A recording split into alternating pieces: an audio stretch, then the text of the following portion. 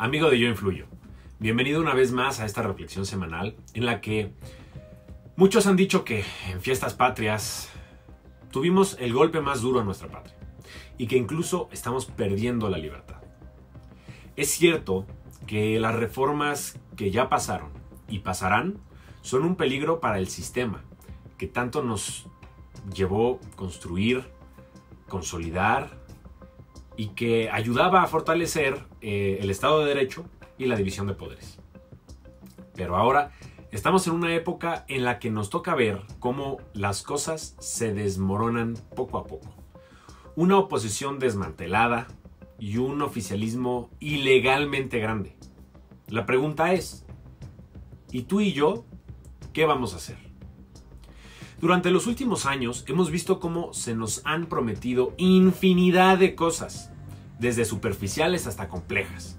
Promesas como acabaremos con la corrupción y no nos endeudaremos más. Además de tendremos la salud de Dinamarca o refinaremos el 100% de nuestro petróleo.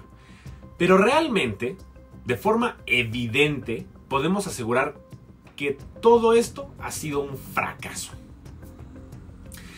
Hay un lema que alguien hizo famoso.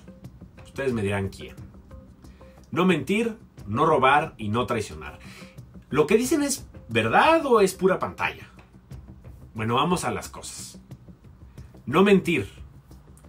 En la que todas las mañanas sale el presidente a practicar su actividad favorita.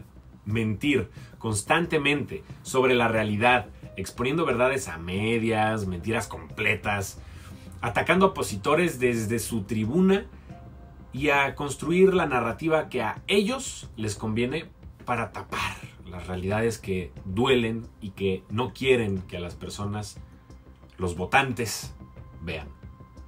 Claro que en conclusión, obviamente mienten.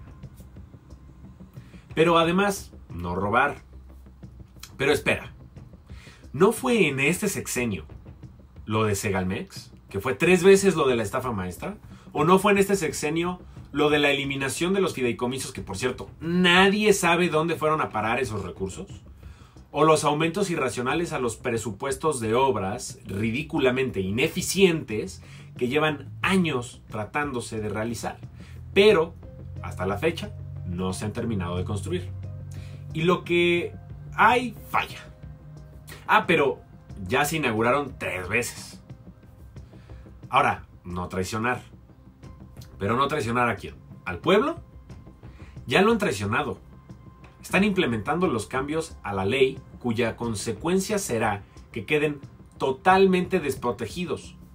Que sin organismos autónomos, poder judicial, independiente, un gobierno transparente o un mínimo de decencia en la política, ya traicionaron y siguen traicionando al pueblo. Pero también ya traicionaron a los empresarios, a los que les dijeron que no iba a pasar nada y que no había de qué preocuparse. Ya traicionaron a sus principios, que con la frase que deja López Obrador al final del sexenio nos lo deja claro como el agua. Buscar el equilibrio entre principios y eficiencia. Y como quieren ser completamente eficientes, hay que eliminar todo rastro de principio. Pero vamos, hasta lo lograron con Yunes.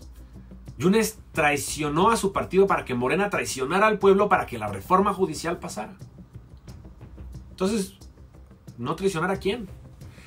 Y la verdad que no sabemos, porque pues este famoso lema no le queda a ellos. México tiene la urgente necesidad de buenos políticos, nuevos liderazgos y una visión a futuro que de verdad sea trascendente, con un propósito donde cada ciudadano esté al centro, no el voto que significa ese ciudadano. Hay que entender que el voto surge del convencimiento y por eso es importante no andar simplemente de dientes para afuera prometiendo cosas porque hay que cumplirlas, hay que trabajar, hay que mejorar. Y esto no se consigue fácil, pero tenemos que lograrlo, porque recuerda que si tú estás viendo que algo está pasando mal y que debe corregirse, a lo mejor no deberías esperar a que alguien más lo viera y tendrías que ponerte manos a la obra. Es desde nuestro propio entorno desde donde podemos generar cambio, impulsar conciencia, influir con hechos, buscar el bien común. Hoy queda claro que el actual gobierno no se está preocupando por el bien común, sino el bien del régimen, para el régimen y por el régimen. Y los mexicanos simplemente no pintan en el plan. O si pintan, pero solo para darles los votos. Y es que no tienen por qué pensar en las personas concretas. Pues ya lograron su objetivo, tener el poder absoluto. Por ahora. Hay mucho que trabajar y los jóvenes tenemos que ser protagonistas de ello. Y adelanto que la oposición está en renovación de sus líderes de partido. Lo que significa que en realidad están decidiendo el futuro de sus partidos, de sus decisiones, de sus opciones, y solo queda ver qué decisión tomarán al respecto a lo que quieren en el futuro de sus partidos y en el futuro de México. México perdió. Frente a la reforma judicial, clara y terminantemente, México perdió. Lo que sucedió frente a nosotros es una atrocidad. El dolor de que en México todo lo que construyeron generaciones por décadas terminó rápida y abruptamente en el basurero.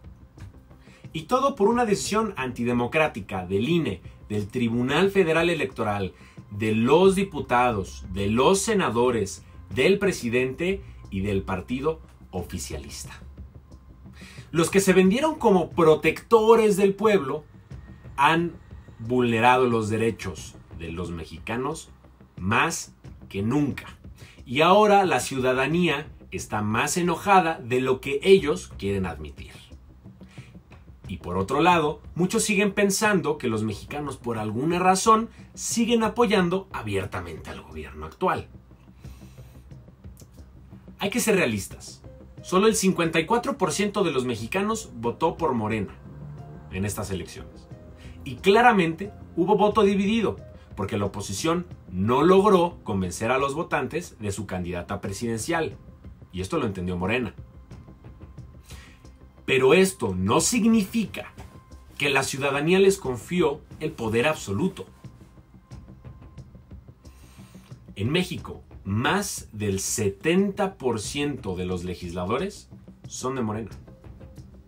Y las decisiones ejecutivas y legislativas son hechas por una sola visión, sin tomar en cuenta otras visiones, aunque el 46% de los mexicanos no estén de acuerdo con lo que están haciendo. Solo se ven al ombligo. Es el partido oficialista el que sin saber ganar aplasta. Esto significa que por unos tres años aproximadamente el poder no será usado por ningún otro partido y esto es de miedo. Algunas de las prácticas corruptas de las que tenemos que cuidarnos es la preferencia que le tendrá el gobierno a los estados y los municipios que ellos gobiernen, así como la roña que le tendrán a los que no. Porque esto es una práctica común. Si no eres municipio que obedezca a la voluntad del poderoso en turno, les detienen el presupuesto. Si no estás conmigo, estás contra mí. Por otro lado, tenemos que tener cuidado con la seguridad y las acciones de la Guardia Nacional, ya que las reformas que vienen son de la Sedena y la Guardia Nacional. Y esto solo se pone más peligroso pues a los mexicanos que cada vez más están vulnerables, a los que sucede con una militarización que huele a tiranía. Y claramente hay que tener cuidado con lo que pasa y seguirá pasando desde el gobierno. El nepotismo, el influyentismo y el perdón de los corruptos siempre y cuando los apoyen explícitamente y les ayuden a consolidar el actual régimen. Esto pasó con Bartlett, con Yunes y con cientos, sino miles de políticos.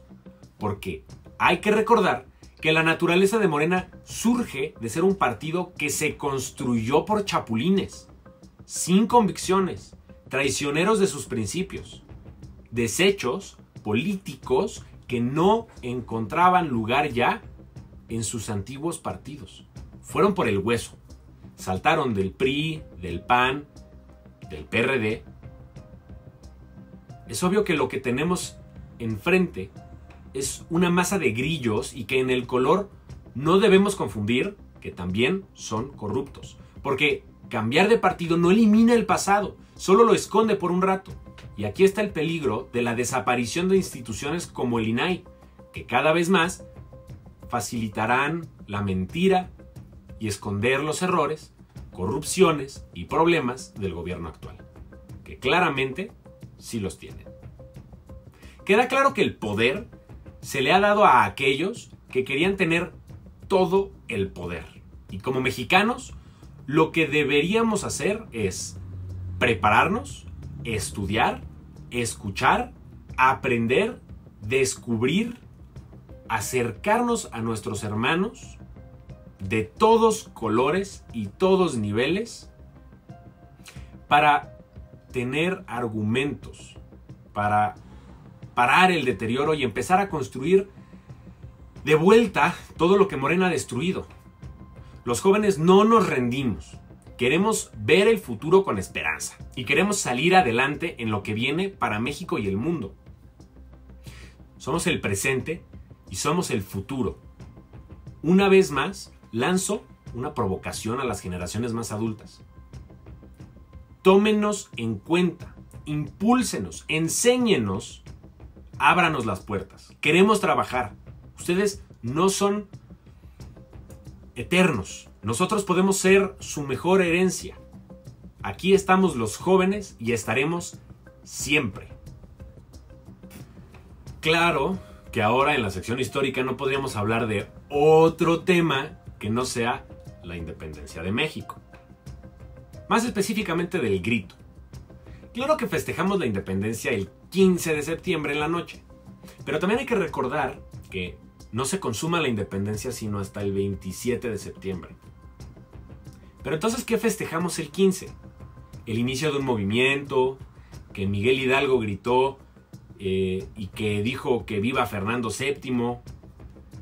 Bueno, profundicemos un poco. Muchos de los héroes que nos dieron patria no son los que querían independencia, sino el regreso de Fernando VII.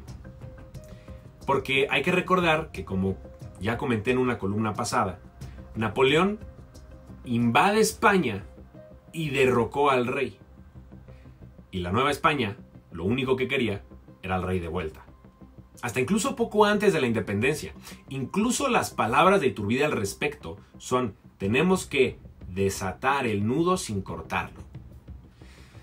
La narrativa de que los españoles nos tienen que pedir perdón está basada en un victimismo que no debería de suceder. Y deberíamos de entender que o el mexicano es chingón o chingado. Y nosotros claramente luchamos por el México chingón. Nos presumimos de esa manera, pero nos cuesta trabajo ser congruentes con esa idea. Bueno, vamos a centrarnos en algo más específico ahora. El momento del festejo de la independización. Iturbide es quien finalmente nos da patria. Y conmemoramos el logro de la independización de México con el grito, el cual, según muchos, marca el inicio del movimiento independentista. Y lo celebramos saliendo al balcón en Palacio Nacional, en el que se encuentra la famosa campana, y se recitan una serie de frases en la que se trata de conmemorar la independencia, pero también a los mexicanos. Y esto resaltando a los que pues, consideramos héroes de México. Pero no es ni Benito Juárez, ni ningún priista, el que da comienzo a esta tradición como la conocemos. Es Maximiliano de Habsburgo, quien sube al balcón vestido de charro Sí, el odiado emperador, vestido de charro, en el balcón y da el primer grito de independencia. El primer grito de independencia de la historia de México, marcando el inicio de una tradición. Es irónico, porque hoy este grito está usado para virtualmente cualquier propósito propagandístico, como se mostró ahora el 15 de septiembre gritando Viva la 4T. Mostrando que primero, ningún presidente en la historia ha dado el grito con las palabras 100% correctas, ya que omiten el pequeño detalle de Viva Fernando VII. Pero todos gritan algo diferente según la conveniencia del momento.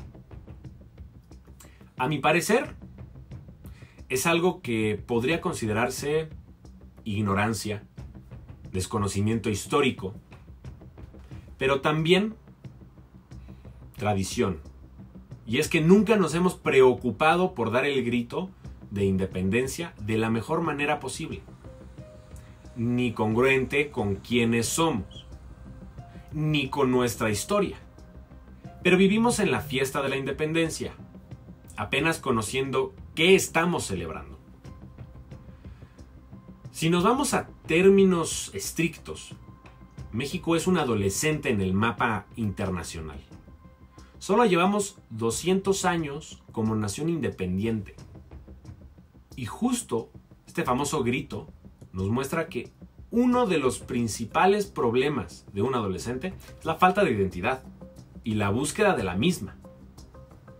Ahora, cuando escuches el grito, piensa que Maximiliano, con un traje de charro, fue quien inauguró esta tradición desde el balcón que dicen donde estuvo Hidalgo. Y que según muchos, también le debemos las enchiladas suizas, porque sí, esto es parte de nuestra identidad.